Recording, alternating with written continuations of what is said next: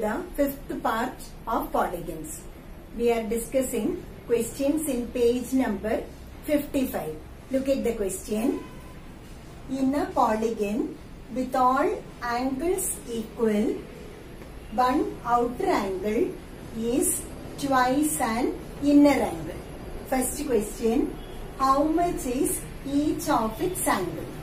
We are talking about a polygon in which all angles are equal. One outer angle is given to be equal to twice an inner angle. So, let us consider the inner angle to be equal to x because we are not given but we know all the inner angles are equal. Now let us write the outer angle. We can write outer angle to be equal to 2 into x because it is given outer angle is twice an inner angle. Now what do you know? In a polygon, if all sides are extended, inner angle plus outer angle at each vertex forms a linear pair. So we can write x plus 2x is equal to 180 degree. From this we get 3x is equal to 180 degree or otherwise x is equal to 180 divided by 3 which is equal to 60 degree. From this what did you understand? We got each inner angle to be equal to 60 degree. Now our question is how much is each of its angle? So we got each of the inner angle to be equal to 60 degree. We can also say about the outer angle. Each outer angle would be 60 into 2 which is equal to 120 degree. Now how many sides does it have? So to get the number of sides we know each of the inner angle is 60 degree. If each inner angle is 60 degree then that polygon would be a equilateral triangle. Number of sides is asked. We know in a equilateral triangle the number of sides is 3. Look at the fifth question in the same page.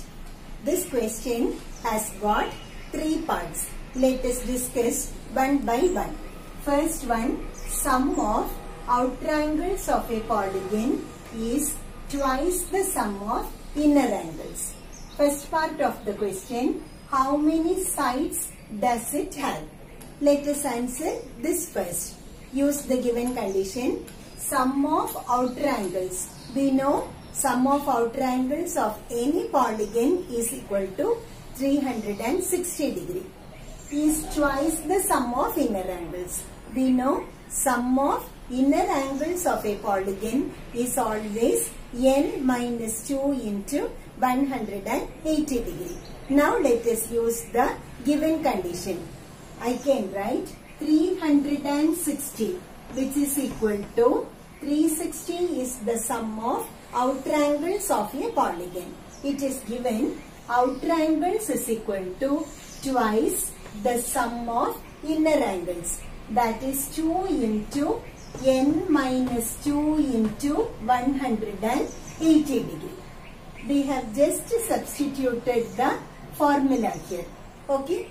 Next step 360 is equal to 2 into 180 also gives you 360. So we can write 360 into n minus 2. Now you can see 360 is common on both sides. So what we can do? Let us cancel 360 on both sides. So what will remain here? You will get 1. So 1 is equal to n minus 2. So how many sides are there? n will be equal to, take minus 2 to this side, you will get 1 plus 2 which is equal to 3. So number of sides is equal to 3 is the answer for the first question. How many sides does it have? Now come to the second part of the question. What if the sum of outer angles is half the sum of inner angles. Let us do the second question. Sum of outer angles is half the sum of inner angles.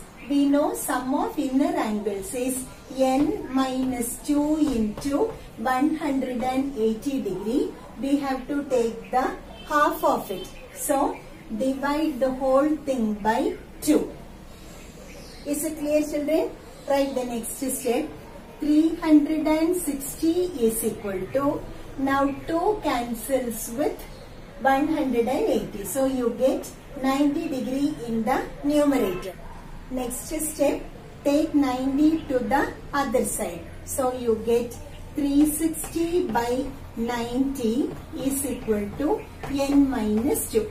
Now let us cancel. 190 is 90, 4 90s are 360. So you got n minus 2 is equal to 4. So to get the number of sides, number of sides will be equal to 4 minus 2 taken to the other side becomes plus 2. So you get number of sides to be equal to 6 is the answer for the second question. Third part of the question, if the sums are equal, that is n minus 2 into 180 degree is the sum of inner angles of a polygon. 360 is the sum of outer angles of the polygon. Next step what we can do, n minus 2 is equal to 360. Let us take this 180 to the other side. So you get 180 divided by 360 divided by 180 which gives you 2. So we get n minus 2 is equal to 2 that is n is equal to 2 plus 2 which is equal to 4. So if the inner angles and outer angles are equal then the number of sides of that polygon is equal to 4. Let us discuss the next heading, regular polygons. You should know the meaning of a regular polygon children. A polygon with all sides and all angles equal can be called as a regular polygon. Take for example our triangle.